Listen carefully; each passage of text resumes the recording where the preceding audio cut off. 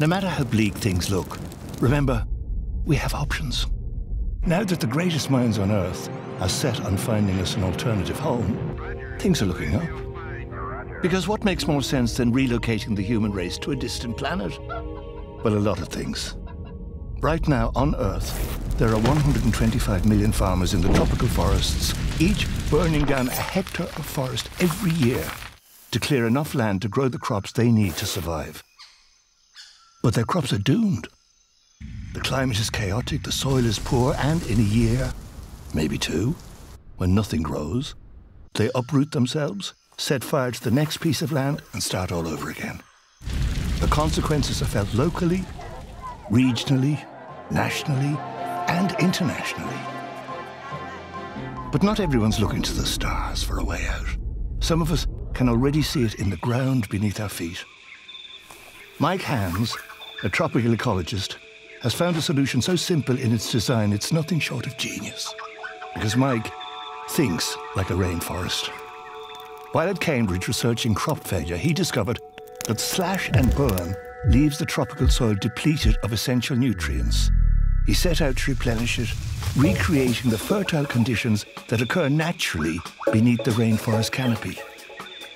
That's when he found the Inga, a tough, fast-growing tree that, when planted according to his innovative system, provides shade and firewood, keeps weeds at bay, and gives a huge nutrient dose to the soil beneath when its fallen leaves decay.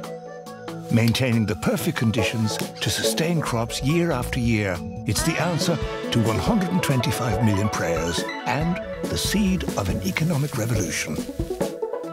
Though persuading poverty-stricken farmers to grow trees in place of crops wasn't easy at first, hundreds have been given everything they need to establish their own microfarm.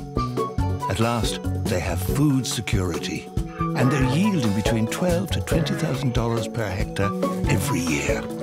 Like the Inga, they can set down their roots. They can take care of the land they love, knowing it'll take care of them.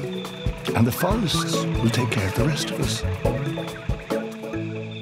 But as word spreads, demand for our help is growing faster than we can supply it.